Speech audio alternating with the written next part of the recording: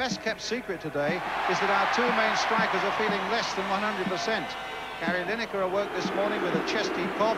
He's almost lost his voice. In fact, he's on antibiotics. And Peter Beardsley today has the makings of a cold. Certainly an important night for Tottenham's Gary Mabbutt, his first cap for three years, and now a vital job to do in Bryan Robson's place, holding firm in the midfield.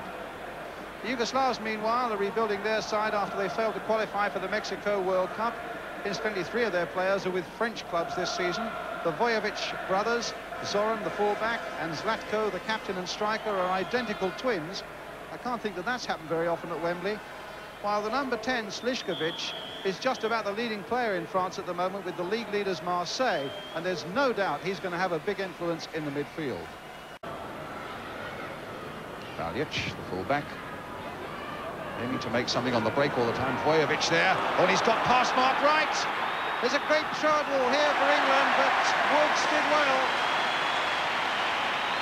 And Wright then concedes the free kick. It was a bad mistake by the central defender in the first place that allowed Vujovic in. The height of Butcher. Right.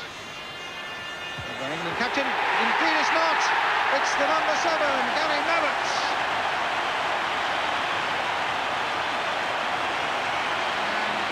Satisfied look on the bench as England go into the lead from the corner.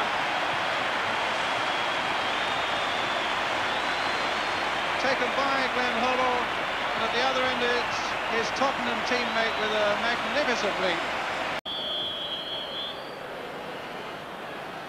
Sliskovic curling it and just going wide.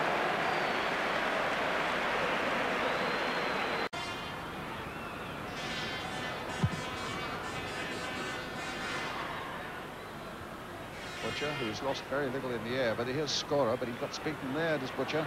Scorer with a shot and a good save. Really only the second time that Chris Woods has been called into serious action.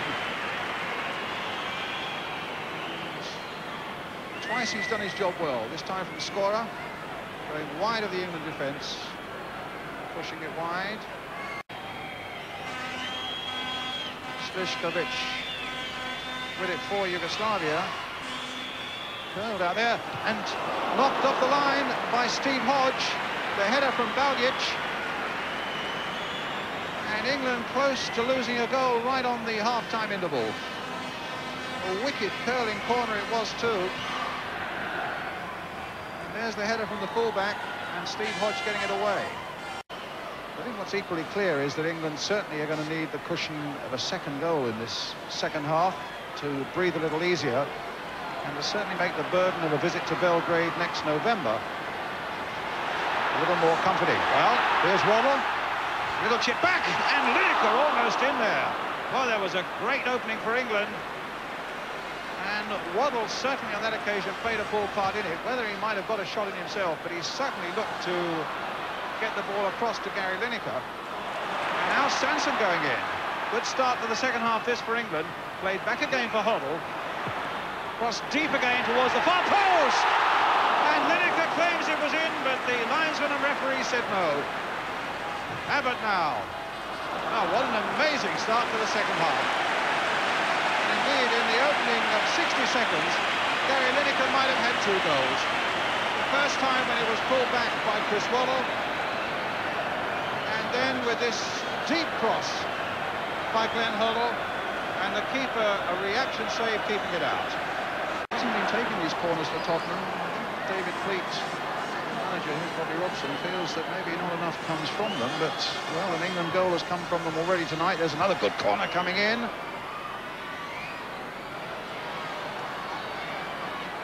Been in good form tonight, Hoddle. Another delightful ball played in for Beardsley, played for Waddle, and a good cross from him this time!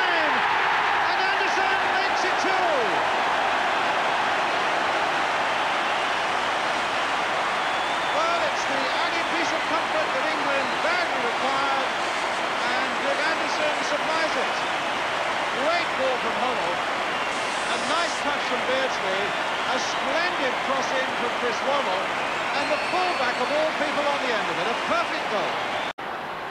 Hoddle making a run, then Hoddle, and the shot! Well, almost number three. As Lineker looking always for that sort of trifle, almost got in. One all, wins a corner for England.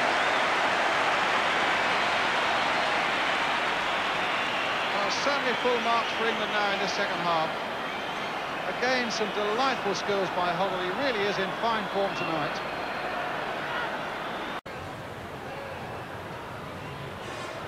Butchers, touch. Oh, and it might fall for the Yugoslavs. Vujovic. There's a chance here for Vujovic. Oh, and he's missed it.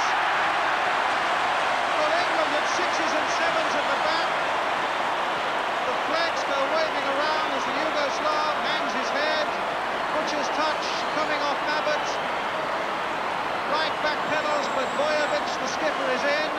Woods can't cover it. He hurdles over him. The goal is gaping, and it goes wide. Sansom again. Won't come to Lineker. Sliskovic.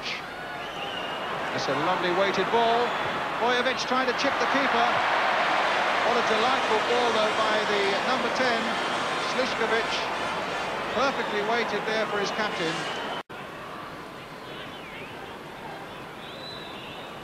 Katanec. Oh, ah, two England players colliding there. And the game goes on. Two England players are down.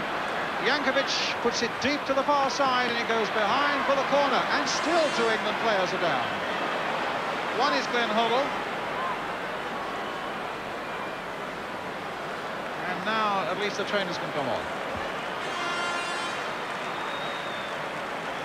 That's a terrible crack there. Well, remember, only two substitutes are allowed. England have already made one bringing on Trevor Steven. Hoddle's going off, and they've called for a stretcher.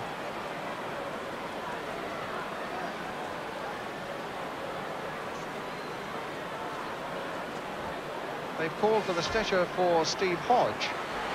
Amazing accident it was. Collision between two England players, and the England doctor there as well. And Bobby Robson looking at Hoddle's injury. Ray Wilkins there too.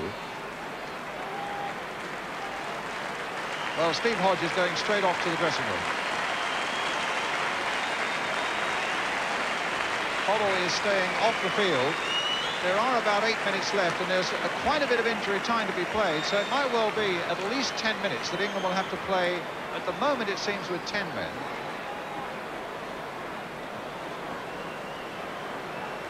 And Hoddle going off, so uh, Wilkins will come on as a substitute. So two have gone, one comes on, and England at the moment down to 10 men, and Glenn Hoddle with quite a serious facial injury, and Steve Hodge having already gone off. And England now facing a corner, and suddenly a little bit of a crisis here. The ball curled in, and it's won't just go in. Charged away again. First to Mafaljic, and it looked as though the ball might be squeezed over the line. Elsner for Yugoslavia. Katanec. The pass is just not coming off for England at the moment, and here's Jankovic. And a chance now. Good save again by Woods. No time for Juric. Played in low. And Vujovic hitting the post. And England escape again In fact, he could have had a hat-trick in the second half. Two glaring misses, and then a little unlucky there with a good shot on the turn that bounces off the England post. Final whistle. A very important victory indeed for Bobby Robson's team. And hard work it was too. Foundations laid in the first half with Gary Mabbutt's goal and a much better performance by England in the second half. And you won't see a better goal than the one that led up to the one for Viv Anderson where Hoddle played a part in it, Beardsley played a part in it, a superb cross by Waddle, pushed home by Viv Anderson. You won't find a better goal than that.